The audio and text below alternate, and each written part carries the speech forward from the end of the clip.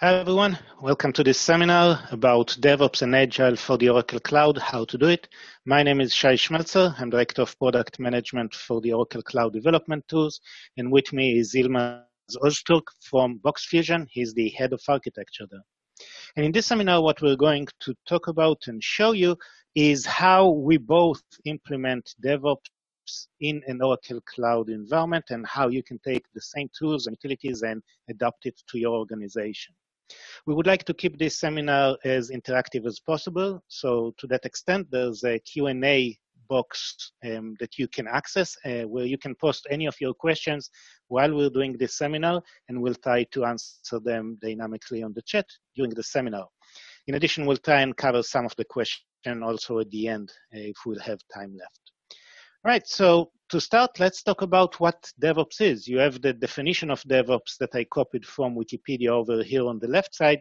But in general, the idea is DevOps is kind of an iterative process where you go through the cycles of steps that you see on the right side, starting from planning what you're going to do, coding, building your application, testing it. If everything goes according to plan, you release and deploy the application and then you uh, operate the application on a regular basis, monitor it, get feedback, and then go into the next phase of planning, coding, and running through this cycle again. Um, if you look at the definition of DevOps on Wikipedia, you'll see that they're talking about a culture and a movement and best practices and things like that. In this session, we're going to focus on the uh, later part of the definition where we're talking about the fact that beyond being a culture, it's also having an environment that allows you to build, test, and release software rapidly, frequently, and reliably. These capabilities align very nicely with the concepts of agile development methodology. Agile development methodology, among other things, talk about releasing software in a frequent cycle to the customer and releasing software that actually works and have features that they requested and adapting to those changes in requirements from the customer in a very rapid, flexible way. And from the Oracle perspective, we see DevOps as kind of having um, a very big influence on the ability to actually deliver on the promise of agile methodology without having a DevOps cycle that tries to automate as much as possible from those steps in place. It's going to be very hard for you to achieve agile because things are going to take longer. If you have the right DevOps cycle in place, you can do changes and release them much more easily. In our session today, we're going to talk about the Oracle Developer Cloud, which provides you with a complete team and CI/CD platform. Um, so this is one of the core services in the Oracle Cloud. It's actually available for any customer that has an Oracle Cloud account. You can provision a developer cloud um, basically for free. And you get a set of functionality over there that allows you to automate most of the DevOps process, starting from planning to coding, building, testing, releasing, and deploying. The two other aspects of operating and monitoring are things that you can do from the Oracle Cloud monitoring dashboards. So inside Developer Cloud Service, what we did is we created a single platform that integrates aspects from issue tracking, managing your agile development process and the sprints of your development and their execution, features that allow your team to collaborate between the team members and help each other. We have a Git-based source version management system and a CI/CD pipeline that allows you to automate the build, test, and deploy cycles um, of your application. If we'll dig deeper into each one of those stages and talk about what Developer Cloud offers you, then for the planning stage, we offer an issue tracking system. So this would basically be a system that is similar to things like Bugzilla or Jira that you might be familiar with. It's a place where you can document all your to-do items, all the features that you want to develop, all the bugs that you need to fix, all the tasks that people need to do. You can also work with agile methodology when documenting things, working with epics and stories. In there, beyond documenting what you need to do, you can also assign it to people in your team. You can track the progress. You can uh, estimate uh, delivery timelines, and it helps you basically prioritize your work for your next development sprint. To manage your development sprint in the plan stage, we also offer a set of agile dashboards. Those are both Scrum and Kanban dashboards, which allow you to monitor what your team is doing, how they are progressing, um, and how you're achieving uh, your goals and whether you're meeting your key performance indicators while you're going through the development process. We give you a lot of progress charts to help you and the management team understand what the pro uh, project team is doing and how are they doing it. In addition, we have a wiki uh, built into Developer Cloud Service. And in this wiki, you can basically share any information that would help the team collaborate better, whether it's design specs or coding standards or meeting summaries or anything else that you want to have a shared repository of knowledge as part of your team environment. Then we move over to the coding stage. In the coding stage, you're going to develop your software or infrastructure code and you're going to store it in Git repositories. So part of Developer Cloud is your own private Git repositories. You can create multiple Git repositories in each project, and you can create multiple projects. Um, Git repositories can also be shared if you want to, for example, use some reusable aspects of your code among various projects that people are using. Okay, maybe you have an infrastructure team that builds some reusable libraries that other people would like to use. Then you can use a shared repository. Otherwise, you can use private Git repository where you fully control who has access to the code. Furthermore, you can also do protection at the branch level to allow you to manage, for example, your life cycle and uh, freeze releases, for example, or only allow specific people to approve merges of code into your Git repository. Git for you, those of you who are not familiar, is the most popular version management solution out there. Um, and we use standard Git capabilities over here. You can connect to the Git repository with any development tool that supports Git, So of course, using just the command line interface and Git commands to check your code into the repository or out of the repository, manage branches, manage um, merge operation, etc part of your merge process might be uh, going through a peer code review process, which is another thing that we offer inside Developer Cloud Service. It allows team members to review the code changes that other team members did, give them feedback on the code, and help them create better code as part of the development. We also have a bunch of language utilities on the build servers to help you, of course, take your code, compile it, and deliver it which moves us to the next step, which is the build step in our cycle. For the build, we have a continuous integration and continuous delivery pipelines in place, allowing you to define automated processes that would take your code and create deliverables out of it. Um, we use popular build frameworks. So if you're using frameworks like Maven or Gradle or Ant, which are all very popular, for example, with um, Java developers, although again, Maven can be used for other stuff. For example, um, if you're doing SOA projects in RTL, you can use Maven. If you're doing database projects, there's also Maven capabilities in there. If you're doing Node.js development, we support NPM as a mechanism to manage your libraries and your build process. If you're using JavaScript, we offer uh, libraries such as Grunt, Bower, and Gulp. If you're on the Oracle stack and you're using things like the Oracle database, we offer the SQL command line utility um, if you're using JDeveloper or the Oracle SOA or even Oracle Forms, we have those capabilities in there. If you're on the newer Oracle stack with things like the Project FN, which uh, provides you with function-based development, we also offer unique utilities for that. And of course, you can also run shell scripts to do your build jobs. With all of those uh, capabilities, you can take your code pick up the libraries that it depends on, and package a deliverable out of your application. Another thing that we can automate as part of the build is provisioning of environments using, again, industry standards like Docker, Kubernetes, Terraform, and the OCI command line interface. Testing is another important part of your application lifecycle. And for us, it's an integrated part of our CI/CD pipeline. So you can have steps in your process that, for example, automate testing of your user interface using Selenium, automate the testing of your backend with JUnit and frameworks that are based on JUnit. And you can also bring in other testing frameworks and integrate them into your build process. Uh, for example, Mocha, if you want to test some JavaScript code. Um, code auditing is another capability that you can invoke as part of your CI/CD pipeline. We can hook up to an instance of SonarQube, for example, to do code auditing based on your own preferences and give you a report on whether your code meets your standard. We can uh, leverage utilities such as FindBugs as part of it.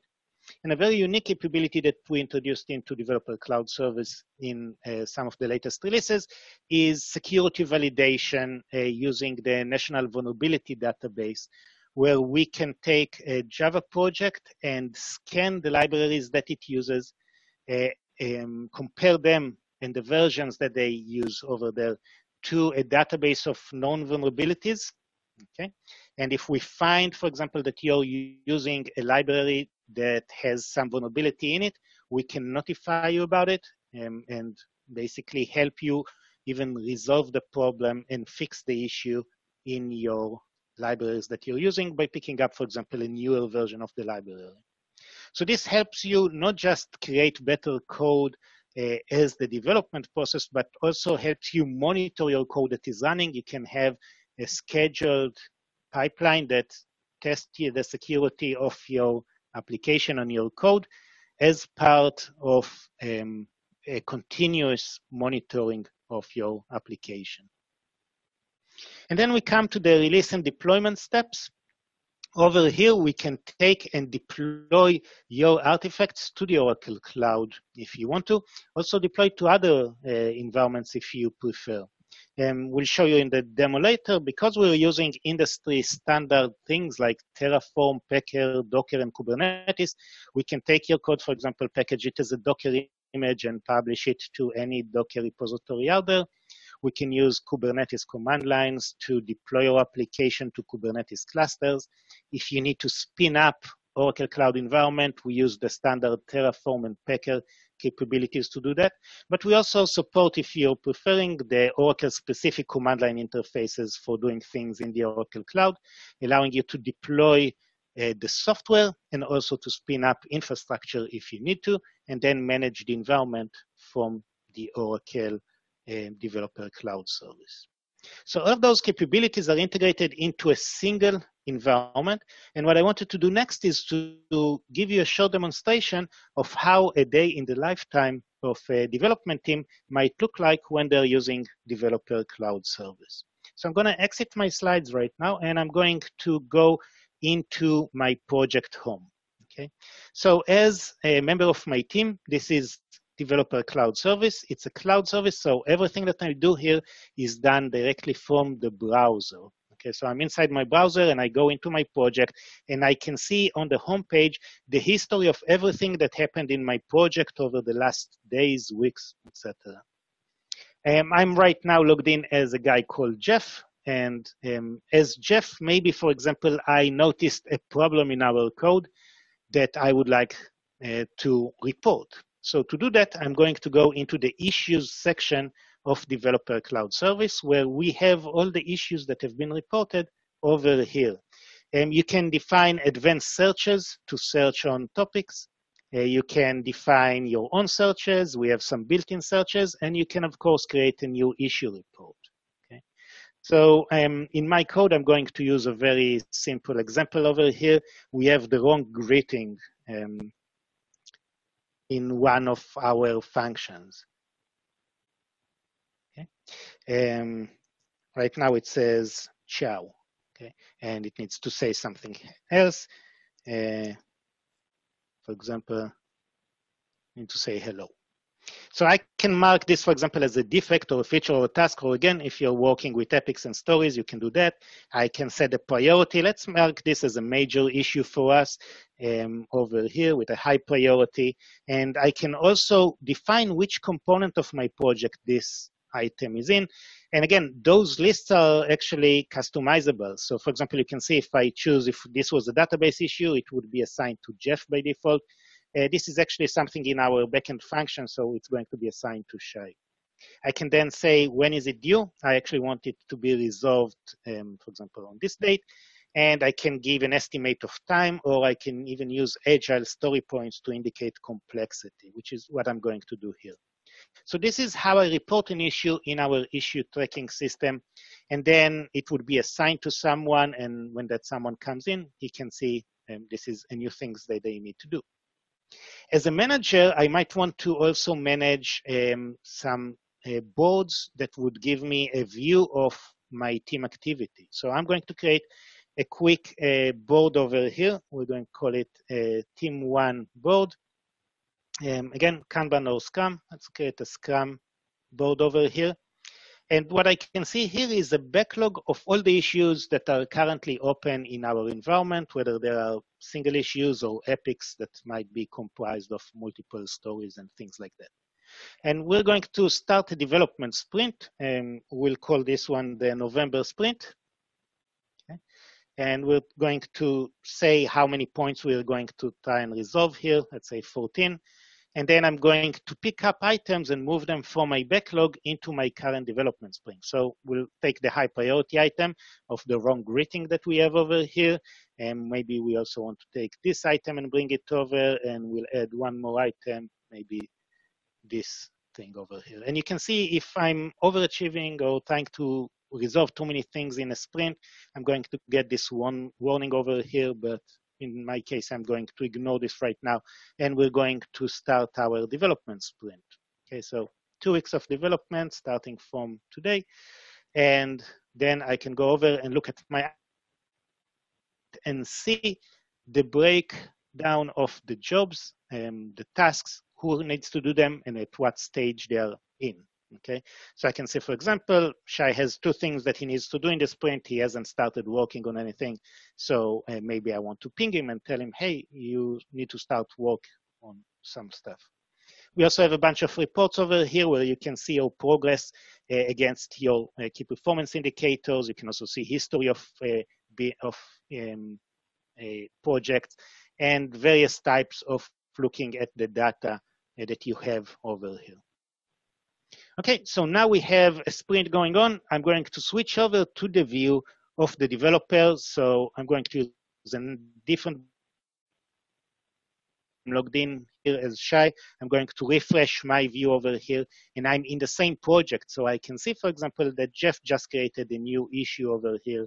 And if I'll actually go over to the Issues tab and looked at the issues that are assigned to me, I can see that this issue, issue 21, is actually assigned to me. I can go in here, read all the information. Maybe there are some links to wikis with information. I can also update things about this issue. For example, I can say working on this today. Okay, um, so we'll add this comment. And when I do a comment over here again, this is all shared among the team. So if Jeff goes in, he can see that Shay is working on this issue today. All right, so back to Shay's view, all our code is inside our Git repository. Okay, and I know that the issue right now is that we have the wrong greeting. So let me look up this um, wrong greeting ciao. Okay, I can see it's in the grid service over here, which is some Java code over here that um, we're maintaining in our project. So I want to change it. Um, however, I'm not going to change it, of course, on my master branch. The right way to work is actually go over and create a new branch um, of my code. So um, I'm going to go over here and create a new branch and call it um, fix21 and that's my new branch. And now that I'm working on um, the fix21 branch, I can go back to my files and um, look up my uh, greeting file over here. And I'm working on my branch and I can go and directly edit the code. I can, of course, check out the code into my own local environment, work on it in my favorite editor and do changes over there. Uh, just for simplicity, what I'm going to do here is I'm going to change the code directly over here and I'm going to say hello instead of ciao. And then I'm going to commit and say this is a fix for issue 21 changed the greeting. So did my code changes, checked it into my repository. It's now in a separate branch. So before we actually merge it into our main line of code, I'm going to go through a merge request process. I'm going to request to take the code from a Git repository and put into master the changes I did in the branch 21 uh, fix. Okay. Um, over here, I'm going to say this is related to um, this defect. Okay. And I want Jeff, for example, to review my code. I can give a description. Um, it automatically picks up the issue that was related. Um, I can say what I did. Uh, and create a request for Jeff to review my code. Okay. Jeff is now going to get an email telling him, hey, um, someone is requesting a code review from you. I'm going to go in as Jeff right now into our merge request, and he can see from his view as Jeff the merge request in his queue. He goes in, he can see what I wrote to him, he can look at the changed files over here. He can see exactly the code change that I did here. He can give me comments on the code. For example, he can say, uh, looks okay, okay, and give me a comment. And we can now do this iterative process of reviewing the code, updating the code, going through versions and things like that. To simplify over here, Jeff is going to approve this code, says works fine, click OK, and then he can click to merge the code into the master branch. Okay, so I'm going to delete this branch, merge it into master, and I'm going to mark my issue as resolved. So I'm going to create this merge commit now, and the code has been merged.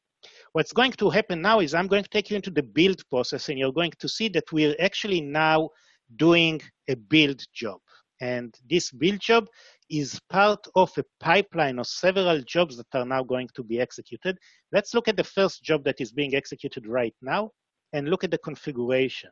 Okay, so this build job is hooked up to my Git repository, okay, to the master branch, and is automatically invoked every time that someone changes the code over there. Then it's going over and doing some um, steps. In our case, we're using Docker and we're doing a Docker login, Docker build, and Docker push, pushing our image into Docker Hub in our case. And again, in the build process, you can use multiple other solutions, Maven, Gradle, and SQLcl, OCI CLI, Project FN, Docker commands, or Unix shell scripts. Okay? We can see the job just finished successfully. If we go back, we can now see we're now even moved over to the Helidon deploy. So if we actually click over here, we can see those two jobs finished and now this job is running. Okay, so the flow is we take the code, we package it as a um, Docker image, and we publish it to Docker Hub, and then we deploy it to the Aura Kubernetes cluster, which is what we're doing here in the steps in the configuration. We're connecting to the Oracle cloud infrastructure and doing um, kubectl to publish our application right? So we can see this also finished successfully. So all our pipeline ran successfully. If we now go over to check it in our dashboard, first we'll go to Docker Hub. Previously it was updated a day ago. We'll do a refresh here. And you can see it was updated a minute ago. Let's go over here. This is our Kubernetes dashboard. Again, updated uh, 21 hours ago. We'll do a refresh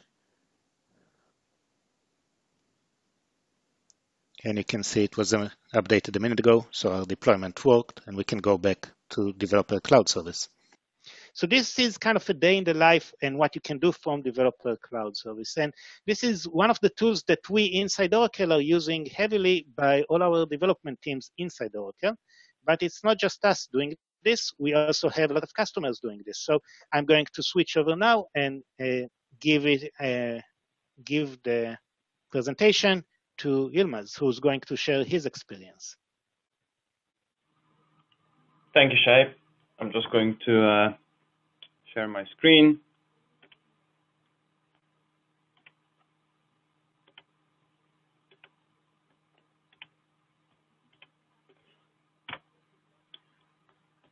Can you all see my screen now, Shay? Yes. Perfect. So thanks again uh, for handing it over. Um, I'm Yilmaz Öztürk. I am the head of architecture at Boxfusion Consulting. And what we wanted to do was to share our experiences with you all uh, today for the use case of Developer Cloud Service, especially uh, with the Visual Builder Cloud Service. So uh, as Shay already said, we would like the session to be as interactive as possible. So for the, if you have any questions, please post it on the chat.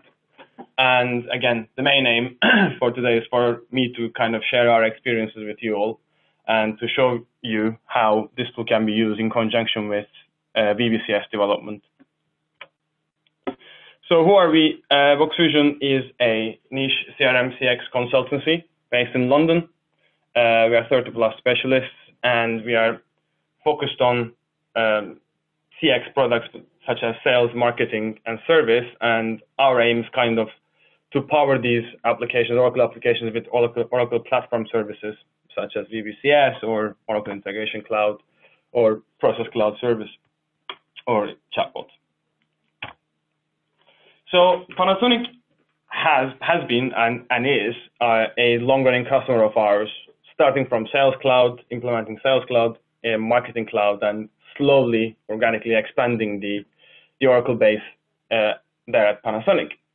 And the project scope for us for this specific project to implement a partner portal using VBCS was more of a modernization exercise. They uh, already had a, a portal, which was a bespoke Java ADF-based e-learning app hosted on uh, Java Cloud Service SX, a light Java Cloud Service, in conjunction with Oracle Sales Cloud PRM module.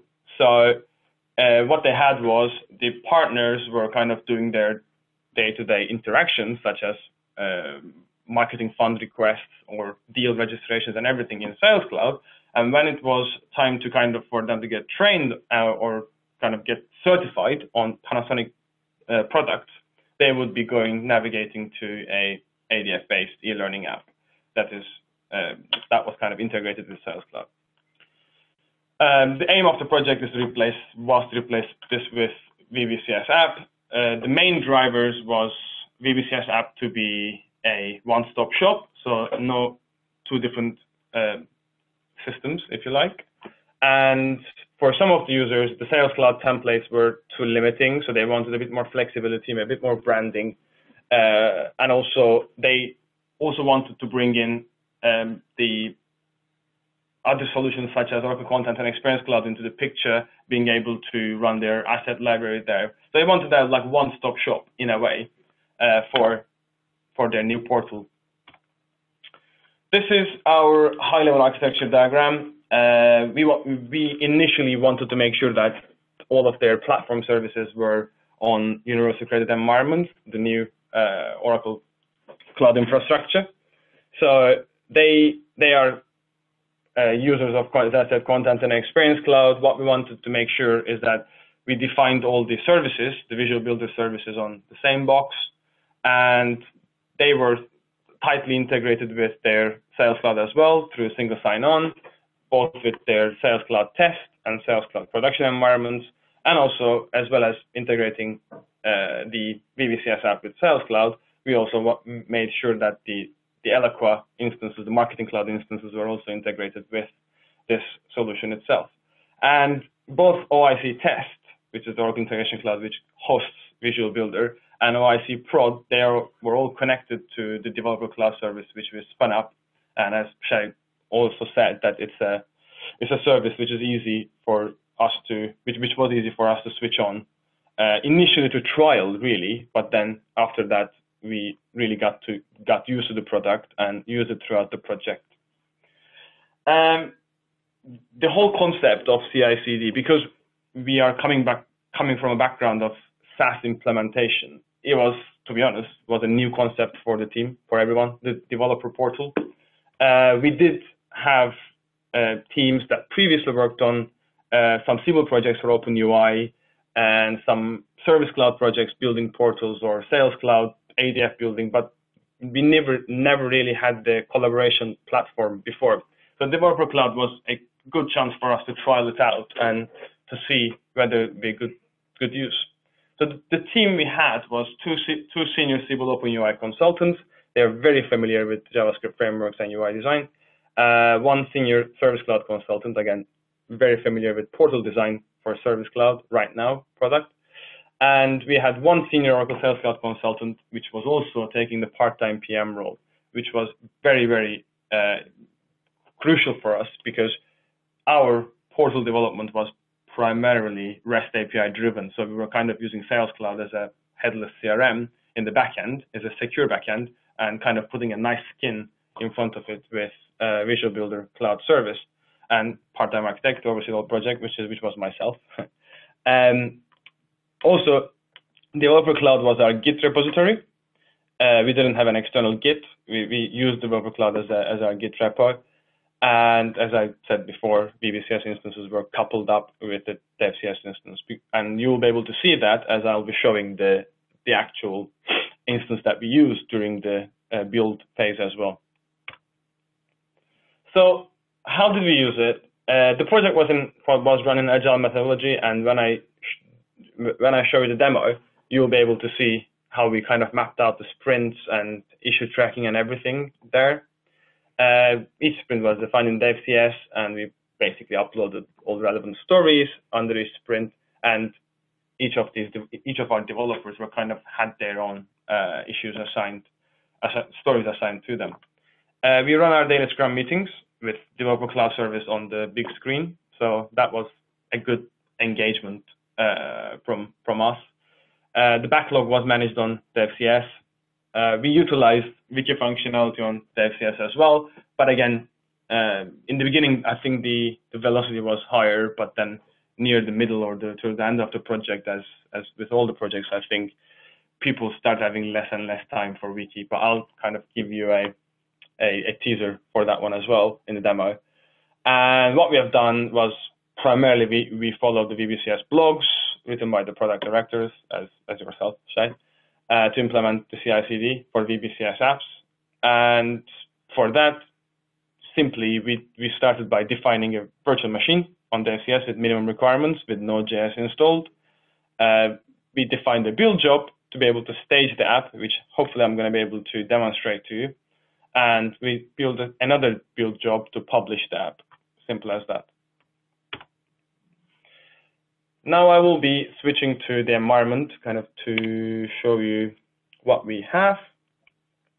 Um, right, so this is our DevCS environment.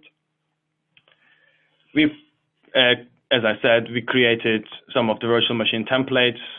Again, one uh, we have a few machines here, but then when, when we actually start doing the CI/CD, these uh, machines will start up automatically, which I can show you as well. Whilst I'm going to show you the other functionalities, I'll start up this VM. We defined one project, PRM Portal, which was the core aim of this uh, project itself. As you can see on the right-hand side, we have the team uh, with everyone collaborating here. And as Shay already showed, there's the recent activities throughout the history. Um, what I will show is what, what I will start with is actually from the bottom using the wiki area. Um, initially, as I said, there were uh, we, we kind of started adding stuff here, but then the velocity dropped down. But just as a as an example, we kind of use the wiki functionality to share uh, important gotchas on VBCS or Sales Cloud REST APIs, etc. I guess the core part was for us was using the Scrum board, uh, really. So just gonna press this one just to show you the report uh, across different sprints we had. So in total, we had uh, five sprints, and you can see the velocity chart here, the speed ramping up, and you can see for each sprint the dates, uh, number of issues, story points completed, etc. So this was very useful for our uh, PM. And let's, for example, let's go to here to show the uh, sprint itself, each of them. So sprint six, we can see how many story points were added or burnt down, And you can see the events with story points here. We also use the issues as well. Uh, we, we, we, as I said, we were assigning issues to individual developers and they were following up with it and they were marking them as done as and when they completed it. we defined we, we have defined many uh, Git repositories here again initially to trial around with, but again, so for example, this one is the one I created today to be able to demonstrate here and not to disrupt other people's work. But you can see that there are multiple Gits actually hosted on the developer cloud itself. Just gonna quickly double check whether my VM is now up, for example. It's still starting up. I'm just gonna quickly show you the build tasks that we have defined. So as I said, there were two flavors from, from our, our perspective. One was the build task, which is staging the VBCS app, and the other one was actually publishing the app itself to make it live. So let's have a look at the configuration of the build job itself. This part is, sorry, just gonna autofill here. This part is quite important. Uh, this is actually the, the checkbox that enables whenever there's a commit on the Git repo, this build function to be triggered. And what I will show you as well is that VBCS is tightly integrated with DevCS itself. So whenever I make a change and push my changes from VBCS, I will show you that this job will automatically get triggered. And this is the Git I'm, I'm using. Just to quickly flick to my VBCS, I'll show you that we are actually connected to this Git repo from here. As you can see, that's the Git repo we are currently coupled up with. I can do is I can do a quick Git status to understand uh, whether I'm fully uh, aligned with my repo. There you go, it's fine. I go back. Then here, I can define the, the parameters for my build job. Um, as you can see, there are different uh, parameters here. Just to make sure that default value for the app to be staged is this, OOW webinar.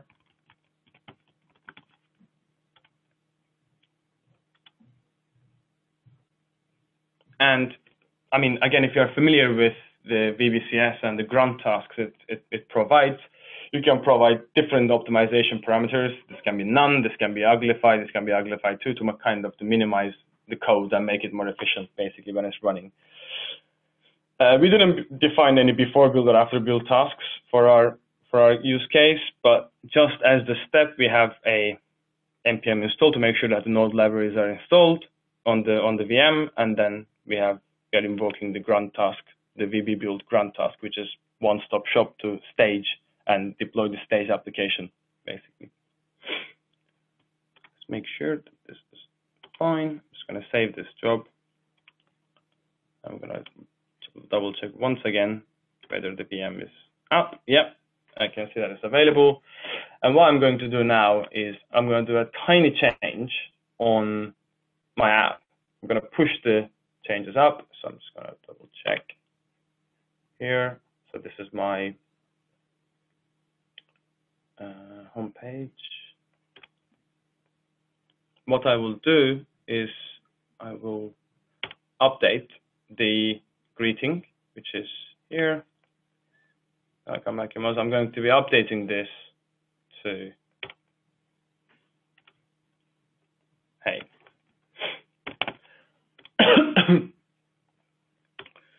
So again, you won't see any kind of save buttons here. It's, in, it's immediately saved as you are typing in on VBCS, I'm just going to refresh the page to make sure my change is in is in VBCS, and here it is.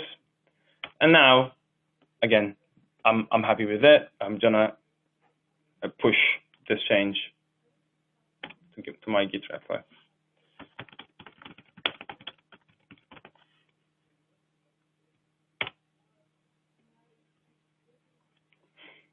Can see the progress from here and to which repository is, it's posting to. All done. Now I should see a job running automatically. And there you go. And, and it kind of indicates that it is initiated by the SCM change as well. So you know that if it's manually triggered or or it's created by the VBCS job itself. I'll also show you that the Git repo being updated as well on that one. So if I go to the build job itself, I can go to the logs and I can see the whole journey throughout here. That kind of concludes my um, my little demo, my short demo of how we kind of used uh, DevCS with VBCS. But again, if you have any questions, please feel free to post it on the on the chat area. Other than that, thank you very much. Thanks, Yilmaz.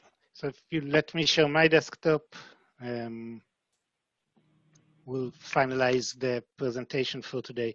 So hopefully this has been useful for all of you guys and you saw um, some of the things that you can do in the Oracle Cloud in terms of managing your full development life cycles from planning uh, through the agile development, automating the DevOps cycle all the way to the deployment of your application in the Oracle Cloud. Again, a couple of things to mention here. Oracle Developer Cloud is an entitlement that you get the minute that you open an Oracle Cloud account. So if you have an Oracle Cloud account, you can just go and spin yourself an instance of Oracle Developer Cloud and leverage the features that you've just seen today. It's built for a variety of software uh, and infrastructure capabilities. You saw a couple of demos today, one with Visual Builder and one with um, Java code that is actually based on the Helidon project for serverless uh, in the cloud using, again, Docker, Kubernetes, things like that. And one thing that we would love is for you guys to give it a try and try out the product. Let us know what you think. We have a lot of tutorials to get you started and a community where you can ask any questions. That being said, if you have any other questions, um, again, post them right now on the Q&A and we'll try and answer them. I can already see a couple over here. Um, so one question over here is asking whether you can use the same approach to manage database related code. So the answer is definitely yes. Um, database has some unique uh, aspects to managing the life cycle there. They don't exactly have this step of package and deploy and things like that. But if you look up some uh, Google searches on um, Oracle database and DevOps, you'll find some blogs that show you examples of how we use Developer Cloud to manage database code. So manage SQL scripts, PL/SQL functions, and um, manage them in our Git repository, manage their lifecycle. We usually do this with um, frameworks such as Liquibase, Flyway, uh, which specializes in managing the lifecycle of SQL code. And then inside Developer Cloud Service, we use the SQLcl capabilities to directly run um, SQL code against your database. And this can be um, an autonomous transaction processing database or just a database in the cloud, and we can um, execute SQL on those. So definitely look up some of those examples and you'll see it over there. There's a question asking about if I can clarify the pricing for Developer Cloud Service. So yeah, um, Developer Cloud Service, the base functionality here, uh, the issue tracking, the Git, um, the wiki, the merge request, all of those are basically provided for you for free the minute that you open an Oracle Cloud account. The build functionality, the build is executed on compute instances. So basically compute environments that we spin up and run the build process on and you would pay for those compute instances for the time they are being used. So you have control over those. You can spin them up and down as Yilmaz showed you. Um, and we can also help you manage those efficiently. Um, so it's very cheap to run those build jobs. Basically, the price of compute is very cheap inside Oracle. Um, so that, that's the basic pricing for Developer Cloud Service. Um, and I think that's all the time we had for today. So again, thank you everyone uh, for attending. Thanks Yilmaz for sharing your demo. And if you have any further question, you can find us on our community page um, and we'll be happy to answer questions over there. Thanks, everyone. Have a good day.